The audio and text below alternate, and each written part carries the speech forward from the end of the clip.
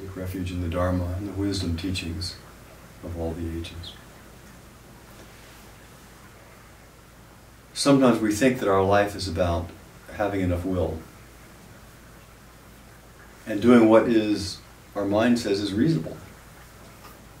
And I don't think life is about will and reason. There is a place for it, of course, there's a place for everything.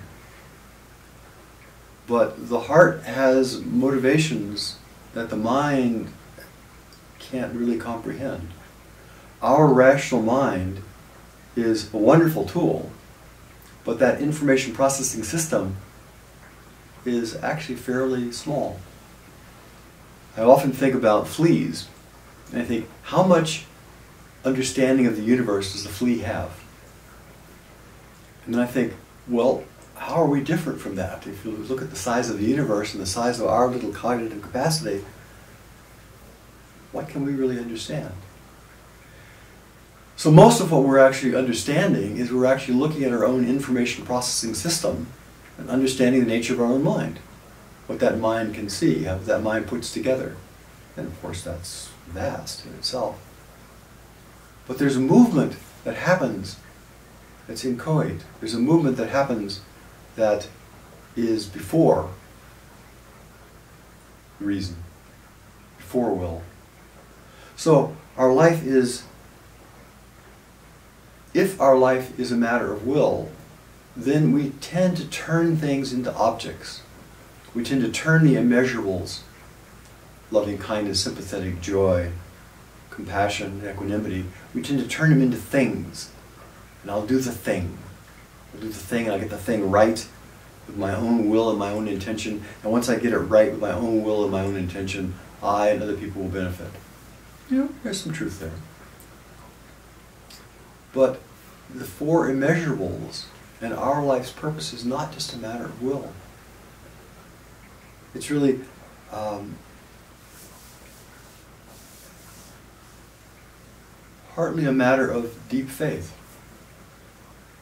Deep faith that something is coming forward which I can't comprehend the whole of it. And all I can do is express this part of it. And in a way, we can say, expressing the part that we can express is perfection itself. That the, the idea of there is a perfect expression, the idea of perfection, works against the goodness. So, from this perspective, 40% is 100%. If we are 40% allowing the inchoate truth of the universe to come through this broken, inadequate information processing system we have, that's great. It's 100%.